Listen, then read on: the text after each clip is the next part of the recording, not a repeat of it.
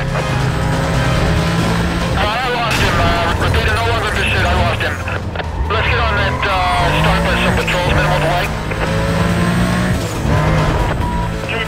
call. Suspect was last seen westbound through the Valley Interchange.